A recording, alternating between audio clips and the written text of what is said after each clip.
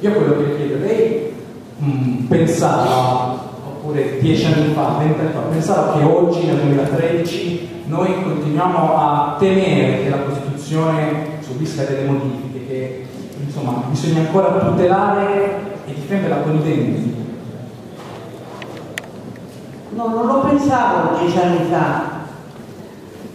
Invece sono stata molto colpita dalle parole che diceva Gabriella su chi è un saggio, uno che prima pensa e poi corre. E mi dicevo, è una saggia, una saggia è obbligata a pensare e a correre insieme, perché se tanto avete sulla testa come il pensatore di Rosè, intanto il latte va sul fuoco, la pasta scuoce, le ragazzine si sbucciano il ginocchio e la ragazzina in pancia. Il punto di riferimento di una donna saggia è sempre un complesso di situazioni difficili.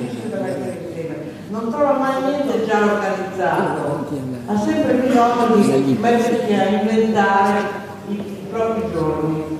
E questo mi sembra invece il messaggio particolare di una serata come questa, intanto per il successo che ha, perché la presenza in una serata che non particolarmente felice dal punto di vista climatico, insomma improvvisata in qualche modo, frutto certamente molto lavoro, ma anche un grande interesse di questo tema che evidentemente.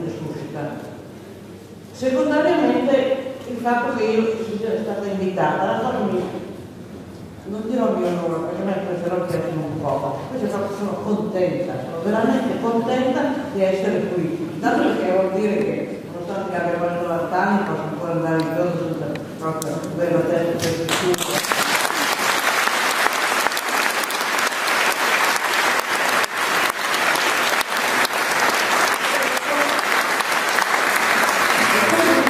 la resistenza fa bene, la Costituzione anche e dovrebbe preoccuparsene ancora di più. Allora io ho pensato, giusto per non sprecare il tempo e le occasioni, che cosa avrei potuto dire questa sera in particolare? Mi sono detta, tutti i messaggi che vengono quando si parla di questo argomento sono messaggi di futuro e di speranza, non di celebrazione, non semplicemente imbalsamare un documento delle pagine, delle persone, delle fotografie, ma come agire? Allora ho provato a pensare quale articolo della Costituzione secondo me avrebbe bisogno di essere subito attuato, perché non lo è ancora ed è il secondo comma dell'articolo 1. L'articolo 1 dice l'Italia è una repubblica fondata sul lavoro, e qui va benissimo. Non è lecito pensare che una monarchia, che rimane una repubblica, che il lavoro sia il suo fondamento è una cosa assolutamente importantissima che pone la nostra Costituzione avanti a quelli di poi tutti i popoli. Ma il secondo comma dice la sovranità appartiene al popolo, che l'esercito è esercito. Beh, questo non è vero, cioè è scritto ma non è fatto.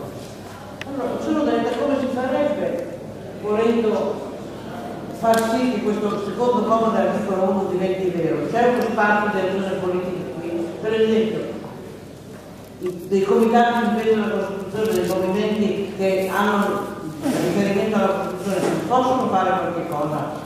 Allora, nostro ordinamento costituzionale l'unica forma di democrazia diretta è la legge di iniziativa popolare, l'unica vera forma di democrazia diretta, il referendum è facoltativo tranne nel caso disponibile della Costituzione. In ogni caso è una forma di democrazia assembleare, non è un po' di democrazia diretta più incarnata, più organizzata. L'unica forma di democrazia diretta prevista è la legge di iniziativa popolare, il popolo esercita la sua sovranità dando il via a un'azione legislativa e l'azione legislativa è quella che per l'appunto detta le norme che hanno valore generale e esprime una soggettività molto condivisa, quindi è una cosa importantissima. Fare le leggi non è un fatto tecnico, sono fatto di qualcuno degli anni governi tecnici. Fare le leggi non è un fatto tecnico, è un fatto di pedagogia politica, è un fatto di esercizio della fraternità che insieme, come diceva Terracini appunto, affermato lui la Costituzione. Allora, perché dico che questo secondo comma dell'articolo 1 non è attuato? Perché per esempio che sovranità hanno gli abitanti dell'Alto Sud sul territorio della loro valle?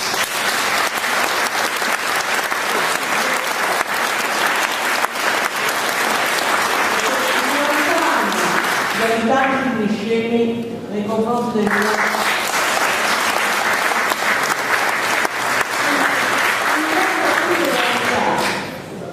sono gli imprenditori che scavano, fanno scavare, scavano loro, però non c'è qualcuno che per ragioni di bisogni di lavoro è disposto a scavare. Ma la popolazione che cosa può dire nei confronti del territorio che abita?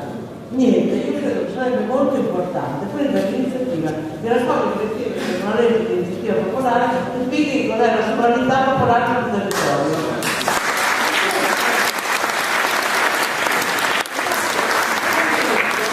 perfettissimamente costituzionale si spiega che quando nel secondo comma dell'articolo 1 si dice la sovranità appartiene al popolo non lo si dice dire delle belle parole secondo la sovranità come dire dire che il popolo è sovrano questo significato ha cioè il popolo re lo può fare non viene indicato.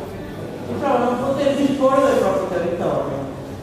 Allora io credo che si dovrebbe poter dire che quando si interviene su un territorio popolato per delle operazioni non fare un marciapiede sempre delle cose minuscole che possono risolvere l'ordinaria amministrazione ma con degli interventi che scaturano quel territorio che lo modificano profondamente questo non si può fare senza aver interpellato la popolazione. Questo vuol dire non rispettare la sovranità.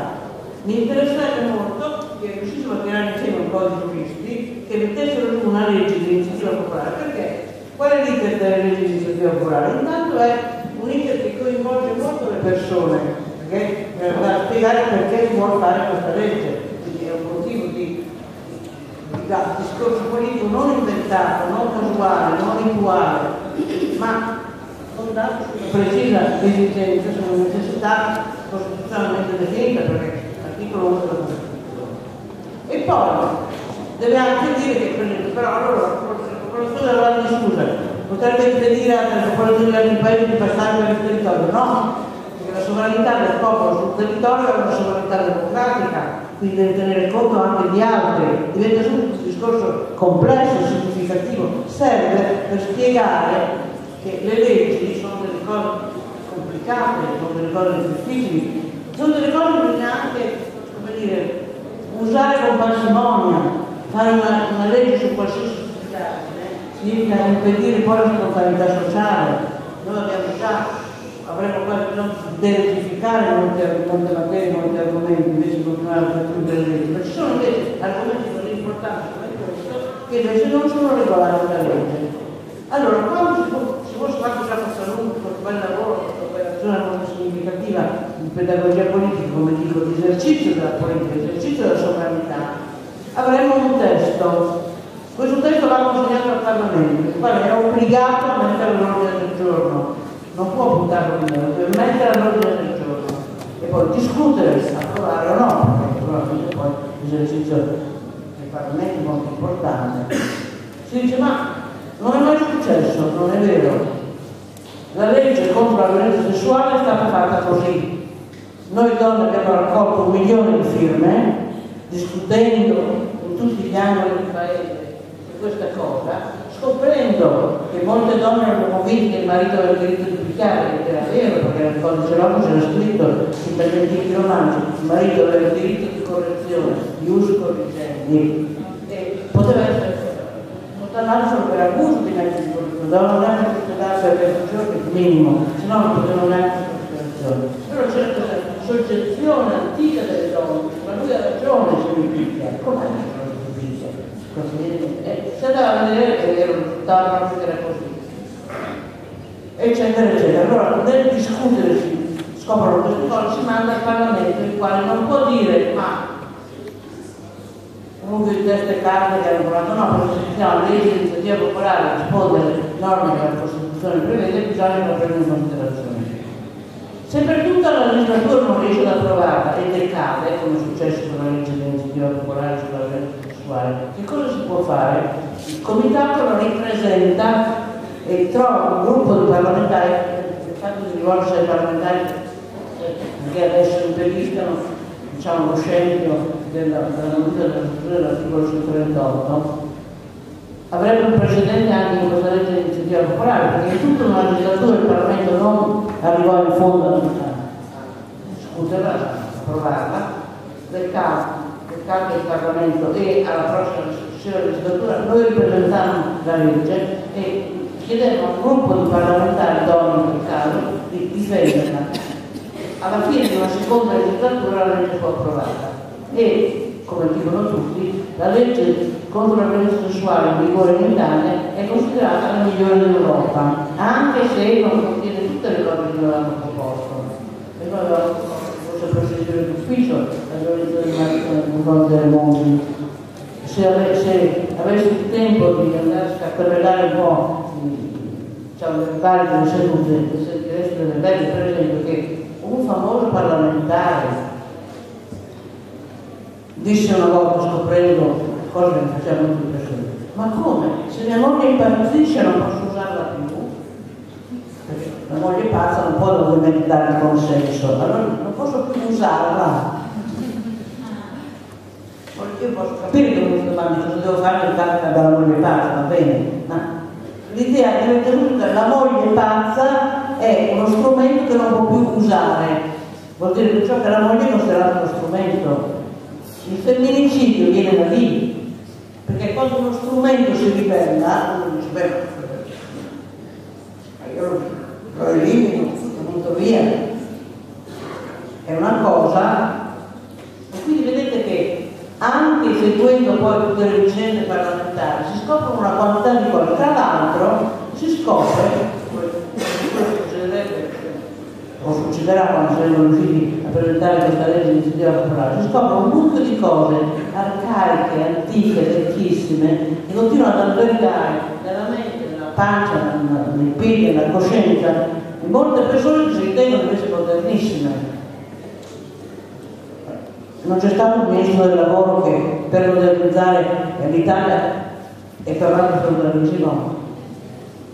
Un ministro che ha, che ha detto che i sindacale un esempio contrattuale deve soltanto applicare alle corporazioni con equità i diritti e i doveri, insomma, il feudalesimo, durante il feudalesimo c'erano corporazioni di arte e mestieri ed era, era prescritto che si dovessero dividere e i doveri con equità. La stessa parola che si è stata quando si è insegnato il governo Monti, esattamente proprio, con gli stessi effetti di equità non sono mai la vista questo all'interno insomma.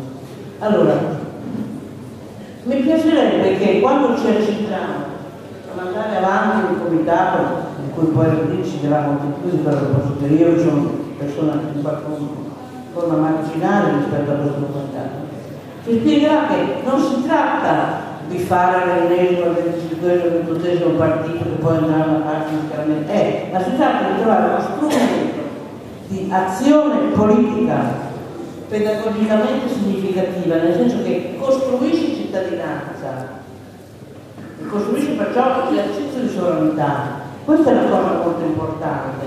Questo è l'itinerante che abbiamo davanti. Non è, molto, non è importante aggiungere un, un, un, elenco, un nome un elenco già determinato di partiti già costituiti.